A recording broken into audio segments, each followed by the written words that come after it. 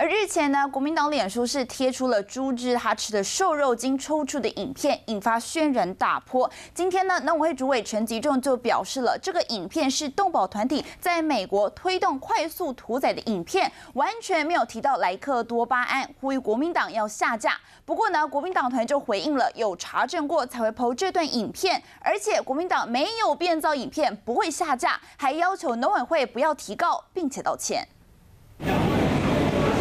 主席宣布散会，国民党立委却说不见不散，要农委会主委陈吉仲踹供。他们在吵的就是这段影片。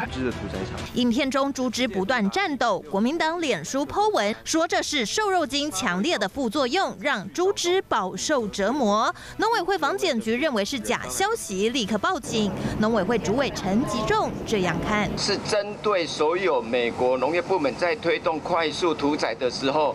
所有的人道的这个福利的议题，从头到尾三分钟，没有一句话莱克多巴胺，百分之百是不死的影片。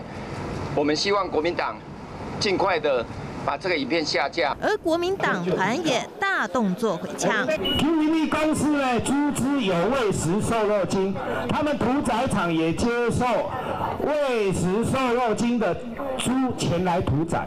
那时候造的，二零一五年也说要放这段影片之前，国民党有经过查证。我们是不可能下架，因为那不是假的，是不是因为含来剂的饲料造成的？这个可以讨论，但确实那个是实际拍摄到的。影片是真是假，双方各执一词，还需要进一步的证据厘清。